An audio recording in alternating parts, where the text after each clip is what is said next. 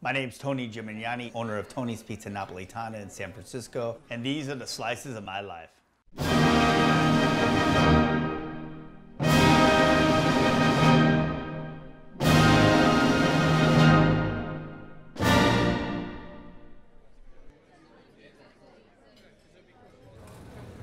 So we're making a uh, margherita, so just hand stretching it like that. So you're really light on this dough. San Marzano tomatoes, there's really barely any seeds in this. Local, we sourced basil here. We're gonna hand pinch grande mozzarella, a little sea salt, olive oil, and let the fun begin. Uh, I always cook, don't get me wrong. It wasn't just acrobat, that's just all he did. While I was doing the acrobatics, it just wasn't tossing. I was working actually with chefs in their restaurants. I was practicing Neapolitan and I said, you know what? I'm gonna enter the World Pizza Cup. I heard it's coming and it's gonna be in Naples. Remember, Naples is in a world of its own. It's a birthplace of pizza.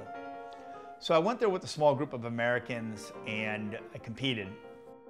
I'm going in, all these cameras, America's here, and they're filming Rai and TV, everyone's filming. I have all these cameras behind me and you're in this oven. So I cut the pizzas, give it to the judges, you hope they like it. Okay, I did the best I could. So the awards come around.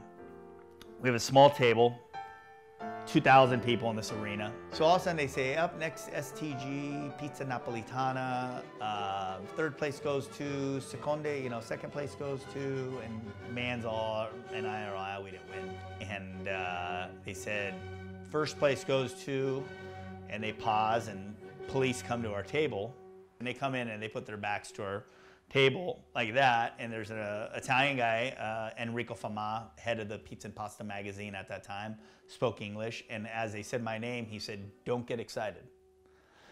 He literally said that as we go up, and they said, from Castro Valley, California.